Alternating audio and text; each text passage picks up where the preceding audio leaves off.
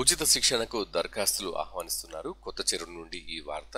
తిరుపతి కేంద్రంగా రాస్ సంస్థ ఆధ్వర్యంలో ఉచితంగా నిర్వహిస్తున్న మహిళా ఏఎన్ఎం ఎంపీహెచ్ఈఓ శిక్షణ కేంద్రంలో ప్రవేశానికి దరఖాస్తు చేసుకోవాలని రాష్ట్రీయ సేవా సమితి ప్రధాన కార్యదర్శి వెంకటరత్నం కోరారు.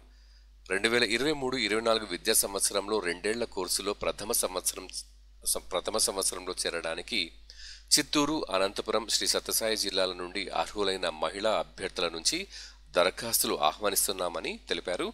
ఇంటర్ విద్యార్హత కలిగిన పదిహేడు నుండి ముప్పై సంవత్సరాల మధ్య వయసున్న కలిగి ఉండాలన్నారు.